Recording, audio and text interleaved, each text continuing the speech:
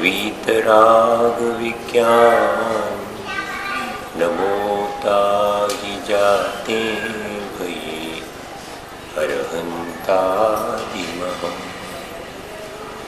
जो विद्यादि सुधी जो विद्यादि सागर सुधी गुरु हैं हितैषी शुद्धात्म में निरत नित्य हितोपदेशी वे पाप ग्रीष्म ऋतु में जल हैं सयाने सतत केवल ज्ञान पाने पूजूँगे सतत केवल ज्ञान बोले महावीर भगवान की, आचार्य कुंद कुंद स्वामी की, आचार्य गुरु विद्यासागर मुनि महाराज की।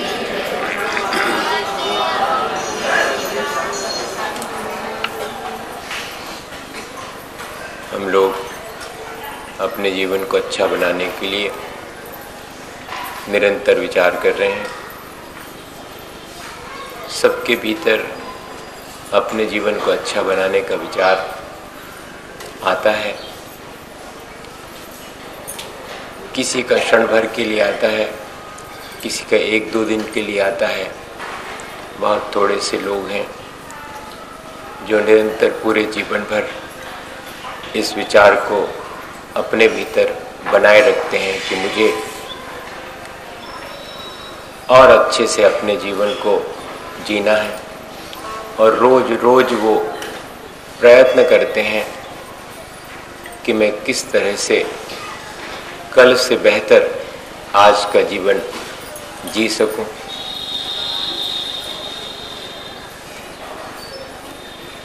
विचार सबके भीतर हैं, लेकिन वे विचार जिसके भीतर जितने सुदृढ़ हैं, उसके लिए उतने ही सार्थक हो जाते हैं।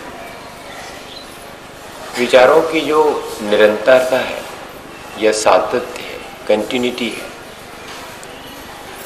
वो हमारे भीतर बहुत बड़े परिवर्तन कर देती है।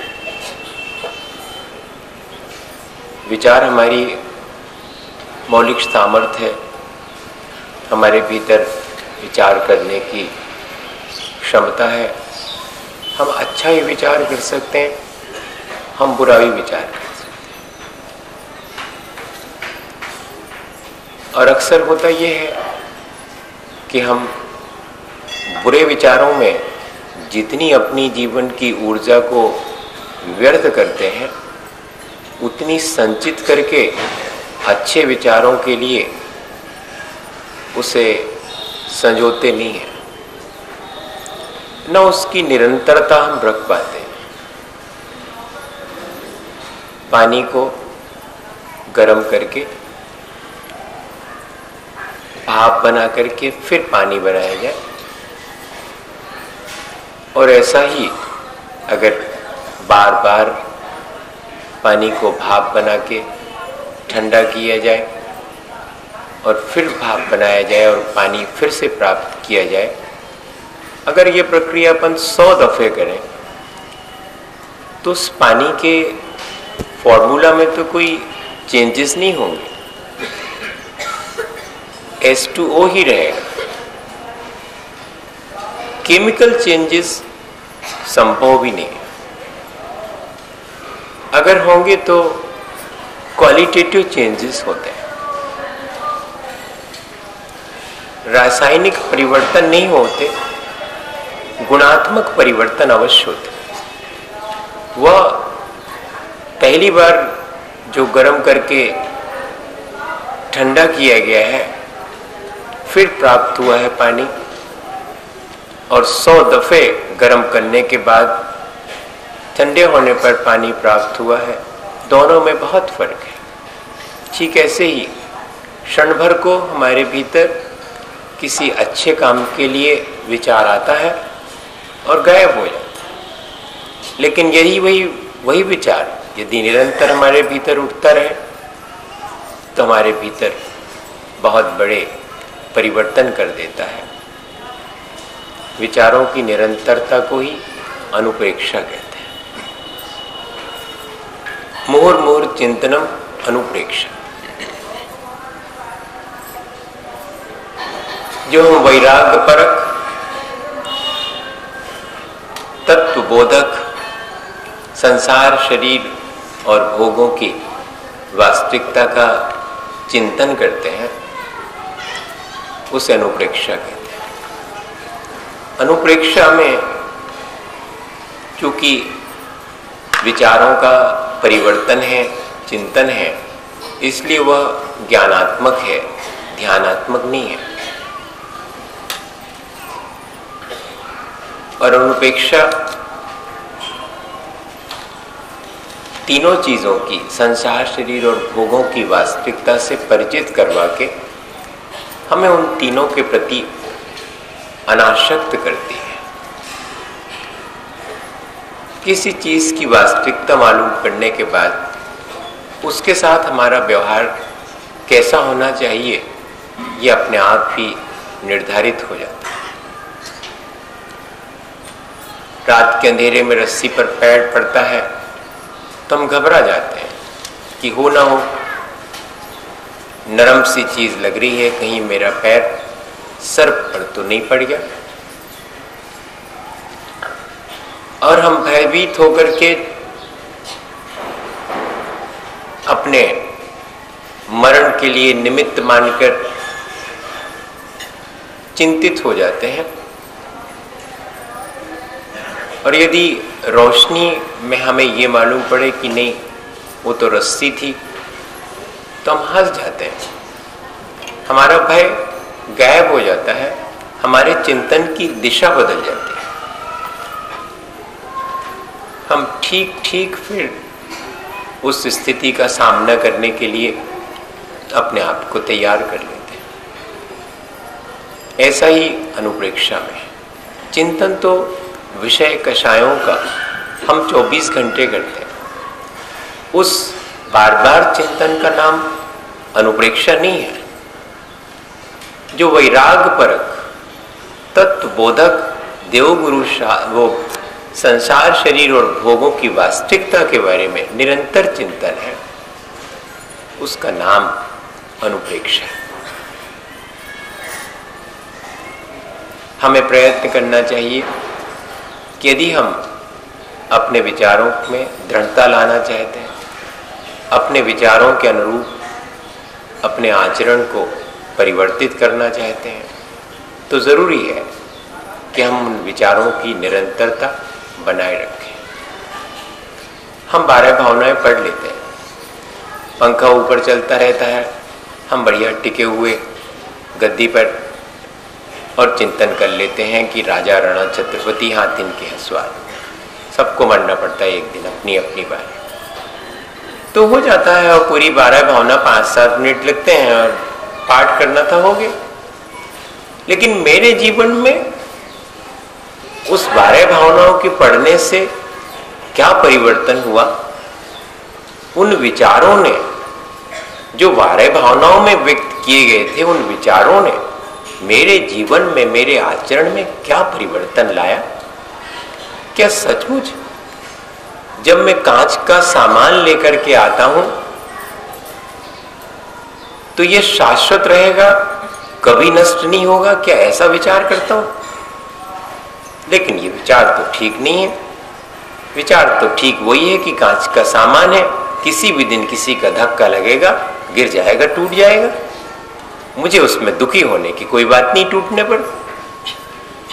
लाऊं मैं खरीदूं, खरीद के रख लू। लेकिन ये दृष्टि हमारे भीतर बनी रहनी चाहिए। ये वास्तविकता का एहसास हमें होते रहना चाहिए। तो हमारी अनुप्रेक्षा या भावना जो हम भाते हैं, वो हमारे जीवन को, हमारे आचरण को समीचीन बना पाएगी। विचारों का प्रभाव तो सब जानते हैं। देखो सुकमाल थे। बहुत डेलिकेट थे। सरसों के दाने भी जिनको चुभा करते थे।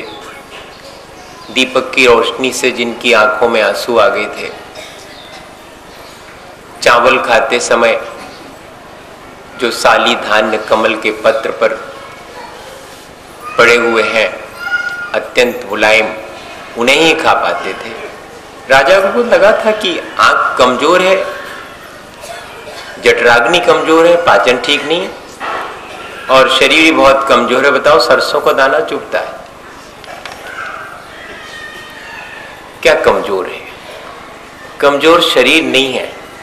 अगर शरीर कमज़ोर होता तो एक दिन मुनि महाराज जी की उद्यान में से आवाज़ सुन करके और अपनी ही रानियों की साड़ियों को बाँध करके खिड़की से लटका करके उससे नीचे उतरते और उतर करके मुनि महाराज के पास पहुँचते और मुनि दीक्षा लेकर के तीन दिन तक एक सियालनी अपने दोनों बच्चों के साथ जिनका पैर भक्षण करती रही, इसके बावजूद भी अपने आत्मचिंतन में अडिग रहे और केवल ज्ञान प्राप्त कर ले। वज्र प्रसव नाराज़ सौनन था। आत्मशक्ति हमने उसका काम नहीं किया। शरीर की शक्ति अपनी जगह अपन कहते कि मन के हारे हार।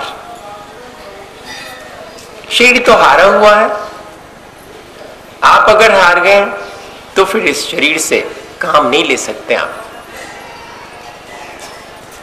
और उन्होंने जब उनकी चेतना जागृत हो गई, उनके भीतर विचारों की दृढ़ता आ गई तो शरीर ने उनका साथ दिया। और अगर कोई बहुत रष्ट पुष्ट बलवान भी हो, और अगर उसके भीतर पंचेंद्रिय और मन के विषयों के प्रति आसक्ति है तो यही कहेगा। जब उससे कहें कि सामायिक किया करे, घुटने में बहुत दर्द होता है। ठीक? वैसे नहीं होता। और पंचेंद्री के विषयों की पूर्ति के लिए दुकान चलाने में, दस दफे उठने बैठने में तकलीफ़ नहीं होती। मंदिर आने में तकलीफ़ होती, स्वाध्याय करने के लिए शोपसम नहीं है। डॉक्टर ने पर्ची लिख करके दी, कैसे ही भाषा में, दवाई कौन सी जगह रखी हुई है, इसकी नॉलेज है। कहा गया वो क्षयोपम सात तत्व पर जो प्रयोजन भूत थे, उनको समझने के लिए क्षयोपम नहीं। हमारे समझ में नहीं आता, शास्त्र स्वाध्याय वगैरह। हमको ये समझ में आता है कि ये दवाई डॉक्टर ने लिखी है, किस रोग पर चलती और कितनी बच्ची है, कहाँ रखी हुई है, इतनी सारी दवाइयों की दुकान। इतना शोभसम इसका मतलब है कि हमारे पास में सब कुछ है, हमारे पास में कमी है तो विचारों की दृढ़ता की। और विचारों की दृढ़ता, विचार तुम्हारे अंदर भी आते हैं, मोक्ष जाने के विचार आते हैं। तो क्या अकेले विचार आने से हम चले जाएँगे? नहीं, उन विचारों की दृढ़ता हमारे भीतर होनी चाहिए, उनकी निरंतरता हमारे भीतर होनी चाहिए। जो हमारे जीवन को परिवर्तित कर सके। लोहे की छड़ को अगर गर्म किया जाए और ठंडा करके फिर गर्म किया जाए और सौ दफे अगर ऐसा ही किया जाए तो लोहा फौलाद हो जाता है। ये क्या चीज़ है? जिन विचारों को मुझे अपने जीवन के लिए अनिवार्य है अपने आत्म कल्याण के लिए अनिवार्य है।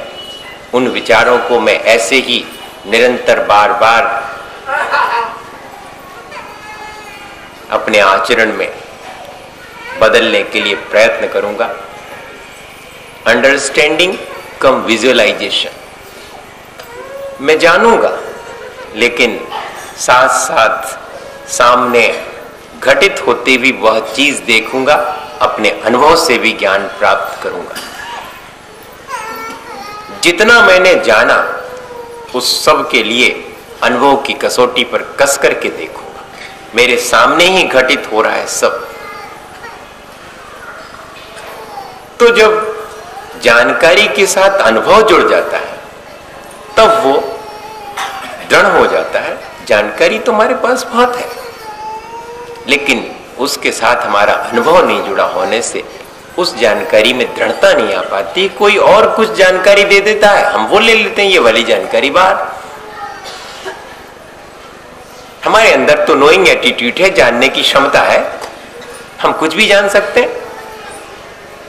लेकिन क्या जानेंगे और किस चीज़ पर हम दृढ़ रहेंगे, ये हमारे ऊपर है, ये हमारे अनुभव के ऊपर है। छोटा सा बच्चा भी अगर गलती से आग में हाथ डाल ले, और अगली बार माँ भी उसे समझाए कि बेटे एक बार और डाल के देखो। नहीं, होंगी आप हमारी माँ। हम आपकी बात नहीं माने हमने अनुभव कर लिया आग में हाथ जल जाता है। बताइए, ये किसने सिखाया? मेरे अनुभव ने मुझे सिखा दिया। तो ऐसे ही अनुप्रेक्षा, जो हमारे भीतर विचार हैं, उन सबको दृढ़ करती है अनुभव के द्वारा। फिर उनमें हम परिवर्तन नहीं कर पाते हैं। चाहते भी नहीं हैं कि विचार परिवर्तित हो जाएँ। जिसको अपन बोलते हैं कि बड़े ढुल ढुलमुल हैं भैया, विचारों में स्थिरता ही नहीं है। तन्नक में जो विचार, तन्नक में वो विचार। अरे कचू विचार पे टिके तो रहो एक से। ऐसा। अपन कहते कई बार, हैं? तो जो अस्थिरता है विचारों की, उसे अपन को जीतना। गलत विचारों की अस्थिरता बहुत अच्छी है। क्षण भर को आया, अब नहीं करूँगा वैसा विचार। पोस्टपोन स्थगित कर दिया। लेकिन अच्छा विचार आया, फिर करके देखो। दिन भर में 25 दफे वही विचार करके देखूँगा, क्योंकि वो अच्छा विचार था। ऐसा संकल्प हमारे भीतर और जब जब भी हमने कपड़े पहने, बड़े चॉइस में फंस गए, पचास साड़ियाँ टिंगी हुई हैं, फलानी जगह जाना है और चॉइस नहीं कर पा रहे, पचास में से कौन सी पहने? हाँ हमने फ़ौरन अपने भीतर सोचा कि वाह, ये सब पाँच इंद्रियों और मन के विषयों के प्रति तो मैं इतना चिंतित हूँ।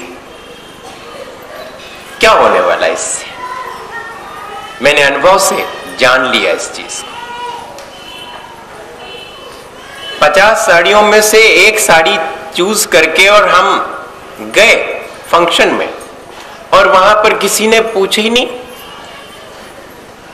कब ली थी साड़ी। कोई ने ध्यान ही नहीं दिया। हम तो सोच रहे थे कि सब हमारी साड़ी की तरफ़ ध्यान देंगे, जब तो हम चॉइस कर रहे थे पचास में से कौन सी पहने, अच्छी लगेगी कि नहीं। यही ना? कपड़े पहनते हैं हम मैंने खुद अपने अनुभव जीवन में किया। बहुत शौक था इस तरह की चीज़ों का।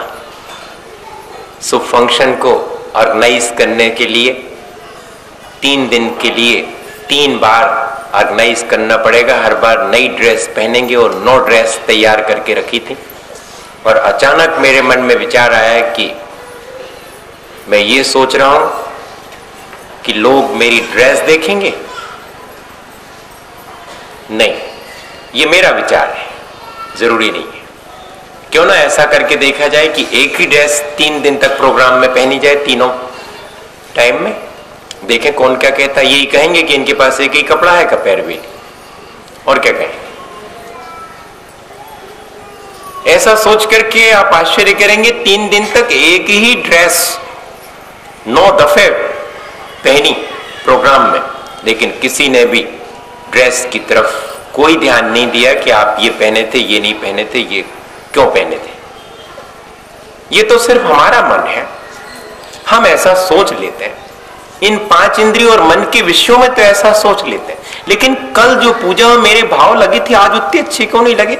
ये विचार क्यों नहीं आता मेरे भीतर कल मैंने जितने बढ़िया से लोगों से बात करी थी, प्रेम से बोला था, आज क्यों नहीं मेरे भीतर में अच्छे प्रेम से बात आई? कल मेरे भीतर प्राणी मात्र के कल्याण के विचार आए थे, सबसे मैत्री का विचार आया था, आज क्यों नहीं आया क्यों नहीं वो विचार जो अच्छा है, वो कंटिन्यू हो पाता है? क्यों मेरे पास संसार के जो मिथ्या विचार हैं, वो हॉबी हो जाते हैं? क्यों मेरे मन में नकारात्मक सोच पहले आ जाता है। और क्षण भर के लिए अगर पॉजिटिव थॉट आते हैं तो गायब हो जाते हैं।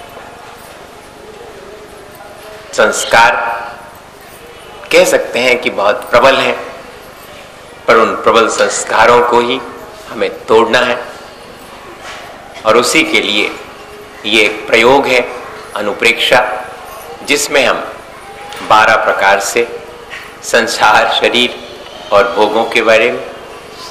और इस संसार के बारे में क्या जानने योग्य है? तत्व के बारे में क्या जानने योग्य है? इस सब की चर्चा करेंगे और ये जानेंगे कि वास्तव में ये विचार मेरे लिए सुदृढ़ अगर होते हैं तो मेरे आचरण को परिवर्तित करने के लिए ज़रूरी है। क्योंकि देखते हैं अपन कि अगर कोई व्यक्ति हमें एनकरेज करे, प्रोत्साहित करे तो हमारे भीतर क्षमता नहीं होते हुए भी हम उस कार्य को आसानी से कर लेते और यदि हम बहुत सामर्थ्यवान हो और हम उस कार्य को कर सकते हैं, लेकिन यदि आसपास के लोग उसका समर्थन नहीं करें, बल्कि नहीं कर पाओगे, सफल नहीं होगे, ऐसा कहें, असर तो पड़ता है। नेगेटिव थॉट्स आसपास बहुत अधिक हो तो जो अच्छा विचार वाला है उससे बहुत मेहनत करनी पड़ती है अपने विचारों को सरवाइव करने के लिए। उन सब के बीच से जूझ करके अपना रास्ता बनाने के लिए। बहुत असर विचारों का पड़ता है, ये सोच करके एक उदाहरण आता है कि एक व्यक्ति गाय का छोटा बकरी का छोटा सा मेमना बाज़ार से खरीद करके कंधे पर रखे हुए घर जा रहा था। तीन ठग थे तो उन्होंने सोचा कि आदमी तो सीधा साधा है, इसको ठगा जाए। सीधे साधे आदमी को ठगा जा सकता है। नहीं तो आप ही ठग जाओगे। है ना? क्योंकि केस गया था एक बार कोर्ट में, और जज ने कहा कि अरे, इतने ईमानदार आदमी के साथ तुमने बेईमानी करी। बोले, साहब, ईमानदार के साथ नहीं करेंगे तो बेईमान के साथ हम ही फंस जाएँगे। तो उन तीनों ने क्या प्लान किया कि एक एक चौराहे पर पहुँच करके अपन इसको ठगने की कोशिश करेंगे। पहले चौराहे से जब वो गुजर रहा था तो उस चौराहे पर व्यक्ति खड़ा था और उसने कहा रे लगते तुम बहुत सीधे साधे हो। क्या लेके चले जा रहा कुत्ता कंधे पर लाद के चले जा रहे हो? कहा अरे जो कुत्ता उत्ता नहीं है। मैं अभी बकरी का बच्चा छोटा सा खरीद के लाया हूँ। वो मेरे कंधे पर है। अब लेकिन ठीक है। दूसरे चौराहे पे पहुँचा। तो उस चौराहे पर तो वो व्यक्ति ने पास पहुँचता गया। जैसे नहीं देखा हो। ऐसा पास पहुँच करके और बहुत ज़ोर से हड़बड़ा करके पीछे हटा। बोले, अरे रे क्या करते हो? इतना खूंखार कुत्ता कंधे पर रख के ले जा रहे हो? इतने सारे लोगों के बीच में क्यों ऐसा कर रहे हो? सबकी जान मुश्किल पड़ जाएगी। अब उस व्यक्ति को थोड़ा डाउट हुआ। उसने एक बार कंधे पर देखा, है तो सही गलत क्या खत्म। पहली बार में तो उसने देखा ही नहीं था। पहली बार तो यही कहा था कि जाओ जाओ, कुत्ता नहीं है। बिल्ली का बच्चा, वो बकरी का बच्चा है। दूसरी बार में उससे भी संदेह हुआ। उसने कहा, देख तो ले, कुत्ता ही तो नहीं है, बिल्ली का वो, बच्चा है, मेमना है।